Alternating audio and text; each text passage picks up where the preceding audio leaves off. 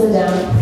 Uh, hey guys, thanks for coming out to our cafeteria for UG Utah. Uh, in case you guys don't know, this is a talk I'm giving at the narrative workshop on GDC on Monday, uh, March 14th. So during this talk, I'm really open at the end of it to any feedback you have. I can't obviously blow up the whole talk, but if you have slides that didn't quite work for you, moments that I went too slow or too fast, I spent too much time on something, you didn't understand something, please catch me tomorrow, Friday, next week, uh, I can adjust the key for the presentation on March. So thank you all for coming, uh, hearing me talk about this stuff. So my talk is on all choice, no consequence, how to efficiently branch your game's narrative. Uh, branching narratives and interactive stories are becoming really, really big right now. We're seeing it in a lot of AAA titles. We're seeing it in a lot of mobile games. Even little casual studios are integrating more story and more character agency and more choices into everything they're doing. Uh, a lot of people approach this and they think, okay, player agency is really important. I want a really robust world. I want every experience to feel customized, to feel special. And so they buckle down and they spend their time creating thousands of pages of content and creating experiences that every single time that I replay, I have an experience that feels highly customized to me, that feels really, really special, really unique, and really, really beautiful. And honestly, I don't think Honestly, that's wrong. It is the wrong approach. Um, if you're doing something artistically in your free time and you want to explore the creation of a world and a narrative, it's great. And you should do that. It's really fun. But if you're trying to make a game or an experience that you want to make money on, that you want to actually get out into the market before 10 years have passed, it's really important that you think about how to do this efficiently. There are four facets to creating your branching story.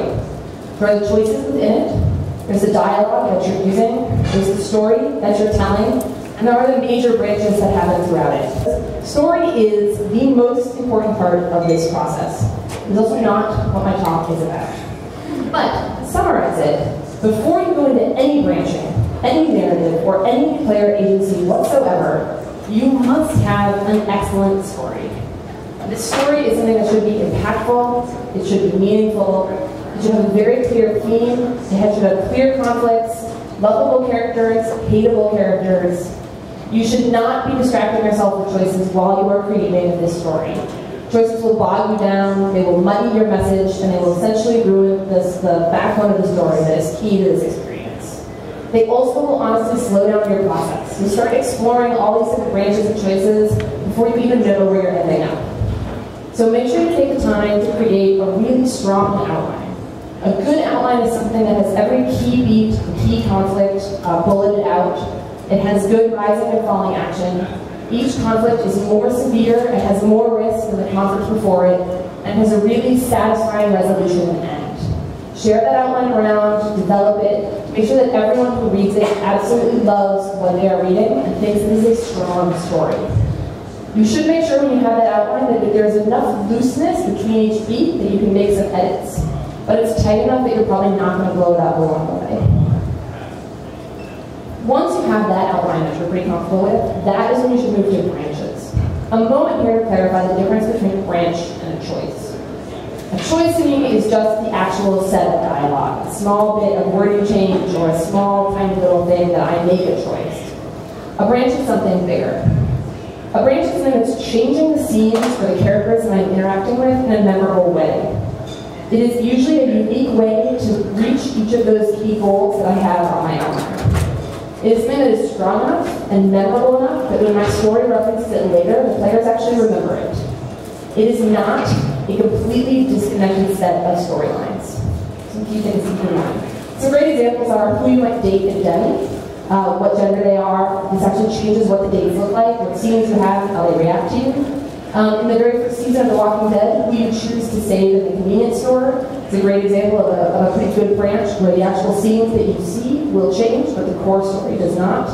And finally, in Inkle's Sorcery, the different paths that you take to reach different parts of the town are great examples of good branches where I see that my scenes are different, but each landmark I hit along the way stays the same.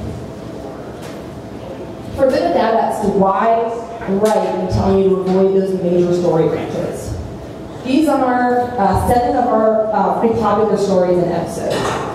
The very first one here is Tangled Love. What you're seeing here is a graph of what percentage of players replay these stories. Tangled Love is our most replayed story in the app. 18% of people who read this story choose to replay it. This story has pretty much no branches until the very last episode, when one choice that you make gives you four different endings. It's an incredibly long story, it's about 70 episodes long, and again, at 18%, it is our most replayed story. The second most replayed story is the Demi story at 8.4%. So you see from one to two a pretty steep uh, cutoff. We think that Demi's replayed a lot again because of the unique dates and unique scenes that you can get. But the core beats along the way are identical no matter what your playthrough is. So don't worry about replaying it. These next five are all pretty average. They're decent stories. You see between 6 and 2.5% replay. The one I want to call out is Finding Mr. Right at 4.8%. This is a story that we created that has four completely unique narratives that change based on the choices you're making, with 12 completely different endings. We advertise this very heavily up front. Players know that this story is very, very different and very customized to their experience. And it is also only 15 episodes long, one five. And it has a 4.8% replay. Making major branches doesn't matter. Making branches that feel impactful does. So how do you find those branches? Number one, a great place is story room disagreements when you're in the room, you're debating, man, I don't know if you should do this, that. That's a great point to make a decision. Again, don't branch early in your outline. Make a choice, pursue a great story, but make a note that this was a good spot for a branch. A great example is in our Mean Girls story. There's a moment where you can choose to kiss Micah or not kiss Micah. This was actually a point of contention in the room. There was a feeling that if I kissed Micah, I now raise the stakes of our relationship. I declare what I felt for him, and it's going to make those next interactions really, really tense. But there's also a feeling that if I didn't kiss him, now the chase is still going on. This game is, the story of the game is more interesting. I have more of a goal. So in the end, they went forward with one, and then later created a pretty good branch of both that changes the scenes that happen after it. Another great place to find uh, good branches is to think about the scenes that are in your outline, what information is being presented in them, and see if you can change the order that the player sees them. In other words, allow the player to choose what order they go to these different places. A great example of this is in Telltale's uh, The Wolf Among Us. There's a moment where you can choose to go see Mr. Toad or Prince Charming first, but you will end up with both of them. You get the exact same information no matter what way you see them, but different things happen in each of the scenes that are affected whether you went first or second. It's a pretty satisfying choice, I mean, you really feel like I could have affected what happened, but in the end, the same story was told to me. Finally, one of my favorites is when you're looking at those beats in your outline, work backwards from any major conflict or goal. Think about something that you know has to happen. She has to find her sister's body. She has to get married to the guy. And change the smaller beats along the way, like how she got there, in between the two arcs. This is a pretty simple and pretty quick way to make big branches really satisfying branches that also don't blow up your story too much because you've made sure that you've kept all the beats around them the same. So just for a piece of context, when you're thinking about it, what we've noticed is you should get one pretty big branch in as soon as possible. This teaches players that all of their choices will matter, even though they won't. Uh, and it sets them up that they should be aware of the choices that they're making. We then another one. We've seen it's pretty good to do another one about every 20 to 30 minutes of gameplay. For us, this means we have one pretty big branch every three to five episodes. Uh, in Telltale, I've noticed it's about one, sometimes two per episode uh, just to give you some context. Most importantly, do not get hung up on your small choices yet. It's not time for small choices. These are just big changes to the outline that your writer is going to have to handle. Speaking of, oh, a little piece of data that I just learned, we've also found out that payer, uh, players are more likely to pay for later branches if they see bigger branches that are accounted for earlier. Which again, kind of supports this idea, get a branch really, really soon. All right, so you've got your outline. You've got some branches in it. You've got some, you know, good meaty differences without really blowing up your story at all. So now it's time to hand this to one of your writers or take it yourself and write some great dialogue. This is not a talk about dialogue. But take some time with it, make sure you're laughing, make sure you're crying, make sure these characters have unique voices. Not about choices, just worry about those big branches. And when you're ready, and you're really happy with your script, you've done a ton of iterations, now it's time to look at choices. Choices are really the fun of these interactive narratives. They're usually small things, they're a little less impactful, but they allow me to feel like I am this character and I am affecting this world in small, interesting, and entertaining ways. So how can you do that? One, you need to identify the strong beats for your choices quickly. You need to make sure those choices feel meaningful when they happen, even though they aren't, because remember, choices not super meaningful. And you need to avoid the bad choices. So let's go where to find your choices. There are three places you can find choices pretty quickly, and again, these are small choices. One is character reactions. A really quick cheat that I use is I a find through the question mark through my script, and pretty much every time there is a question mark in your script, there is a choice.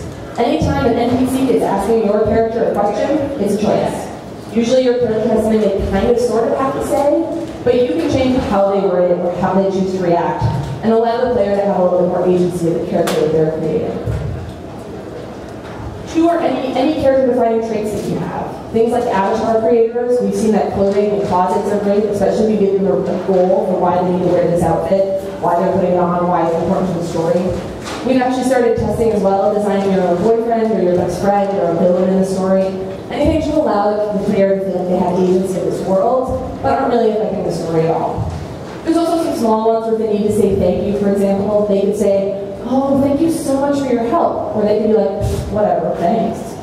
Same story, you're getting a slightly different sense of ownership of that character. And three, one that people don't think about a lot, are those unavoidable consequences. A lot of stories have moments that have to happen. Uh, you have to get hit by a car, you have to get bitten by a dog, you have to skip school one day. And those can feel really, really bad in these new stories that, uh, these new types of games and interactive stories, where people are losing agency in that moment. Their character has to do something, or something has to happen. Choices are a great way to fix this. Um, a good example is in Demi, when we first tested it here, if you guys played it, uh, we had a moment where your sister has to get mad at you because you haven't paid attention to her while you've been on tour. The goal of the scene was to show the player that it's pretty much impossible to balance fame and family and your friends at the same time. But we were getting a lot of feedback and this moment just felt really unsatisfying because you never had an option to do anything with your sister. There never was a choice to help her. So when she suddenly gets mad at you, it's, a piece of agency that's from you as the player. So we used that moment to add a ton more twists into the game. What we did is in the last six episodes, and the six episodes before it, we added moments where you could interact with your sister, and it didn't change the story in any big way. It would just be small scenes that you'd see a slightly different scene.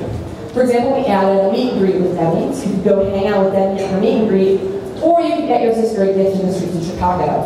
This is a tough choice. It's the only meet and greet in the game where you get to hang out with Demi, or you get to go get your sister a present. I'd say it's a pretty easy choice. There's another one where you're on a date with this boy you have a crush on, or girl you have a crush on, and another girl walks up and starts flirting with him. At that exact moment, your phone rings, and it's your sister. Well, do you answer your sister's phone call, or do you go stop this drama that's happening?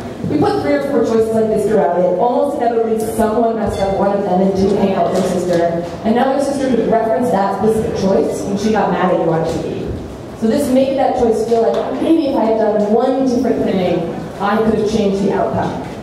There's still, of course, a small percentage of people that did everything with their sister. Eh, something had to happen. So to summarize briefly, how to make choices, how to add choices to your story efficiently.